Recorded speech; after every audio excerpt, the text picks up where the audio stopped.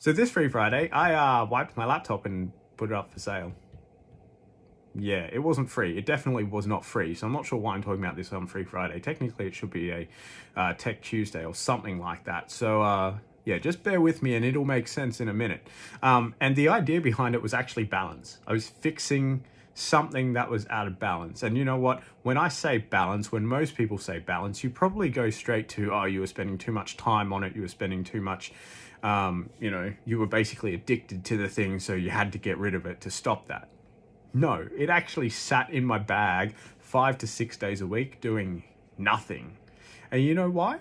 Because I, the, at the time that I bought it, it was like I need a high end machine to be able to do work, especially anything video related or media related, at home. Now that we have the home office, that's not the case anymore because I just sit down at the desk and do it. I don't have to travel to the office to get access to the high end machine or files or anything like that. Everything's cloud based now anyway, so it doesn't matter.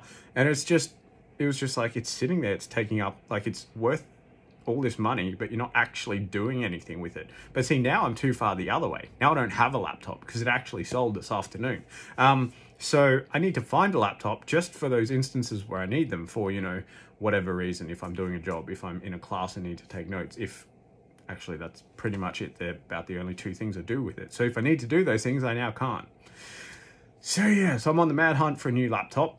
If you have one for sale and it happens to be a 13 inch MacBook Pro after the year 2016, please let me know uh, and we'll talk details and stuff from there. But it was just one of those things. I think it's something that I'm aware of now, having talked about balance a little bit over the last couple of weeks. It's just like, hey, here's another balance point. Yeah.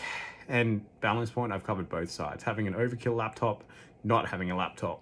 We've got to find that middle ground. But anyway, uh, hopefully that'll happen before uh, the start of business on Monday.